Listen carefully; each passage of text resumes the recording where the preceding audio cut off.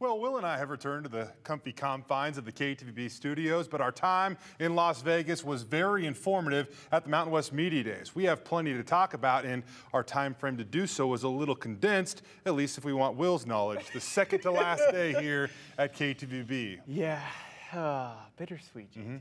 Bittersweet. I'm not going to let it go. I know.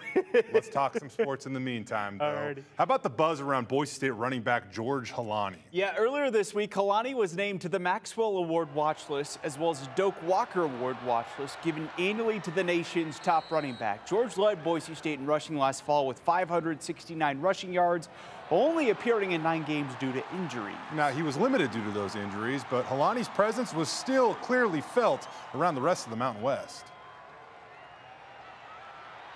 One of the best running backs in the conference, I believe. That dude totes the rock. He's a, he's a good running back. Uh, really look forward to playing him again this next year. Good kid, um, runs the ball hard. I mean, he's an athlete for sure. Um, he, he gets after it on the field, and you got to be ready and prepared when, when you face him.